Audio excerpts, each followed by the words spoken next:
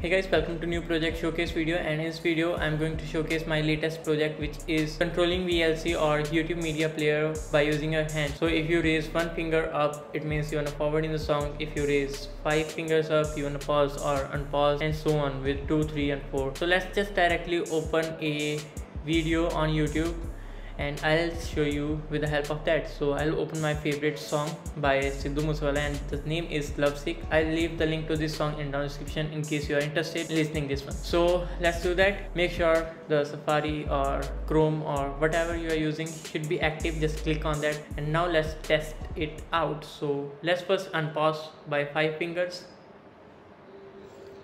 Forward, forward, volume up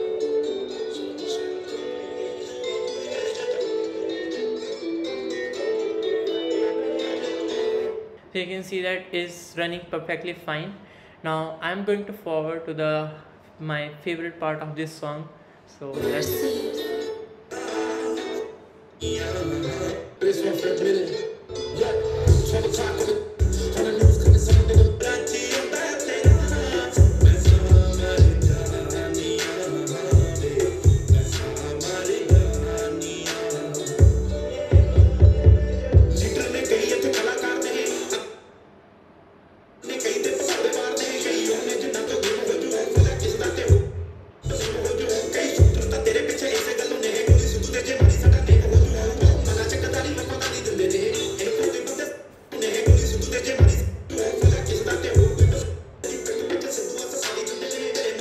there you go. If you want to see the explanation part of this project hit the subscribe button. Make sure to hit the bell icon also to get notified whenever i upload the explanation part of this project and it will be very soon. If you found this project helpful i'll leave the code in down description if you wanna see what is going on in the code. If you like this project hit the like button also on this video. So i'll catch you in the next video. Goodbye